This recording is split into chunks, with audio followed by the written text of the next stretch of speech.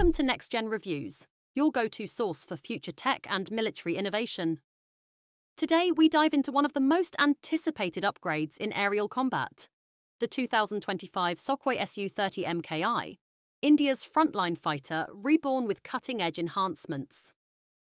Let's explore how this legendary aircraft is adapting to dominate the skies of tomorrow, the legacy of the Su 30 MKI.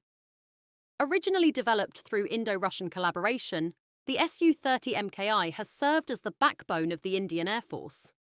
Known for its twin engine power, super maneuverability, and multi role capabilities, it has held its ground for decades.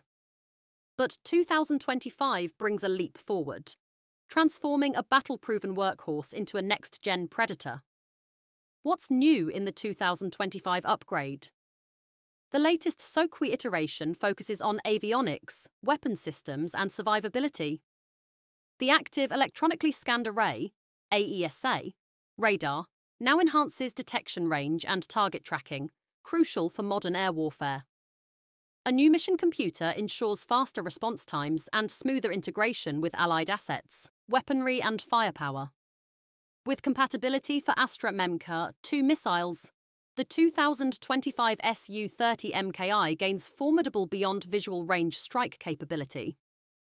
Smart bombs and BrahMos A integration further empower it for precision ground attacks, maintaining its multi role edge. Enhanced survivability and connectivity. Upgraded electronic warfare suites and infrared search and track IRST systems allow the aircraft to detect and evade stealth threats. The jet also features better data links for network centric warfare, enabling seamless coordination in high stakes missions.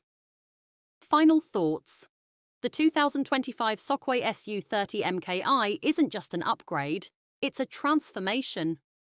With improved sensors, firepower, and digital infrastructure, it ensures the Indian Air Force remains combat ready for future conflicts.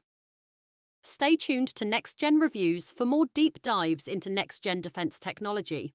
Subscribe now for the future of firepower